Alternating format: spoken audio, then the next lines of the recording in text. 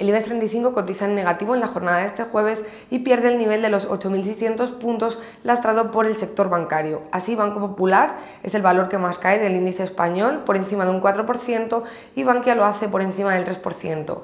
En el lado opuesto, cotizando en positivo, se sitúan Viscofan, Celnes, Iberdrola y Acerinos, que lo hacen con leves subidas. El sector bancario europeo cae más de un 2% en esta jornada y destacamos en el CAC 40 las caídas por encima del 2% de BNP Paribas y en el DAX 30 de Deutsche Bank y de Commerzbank.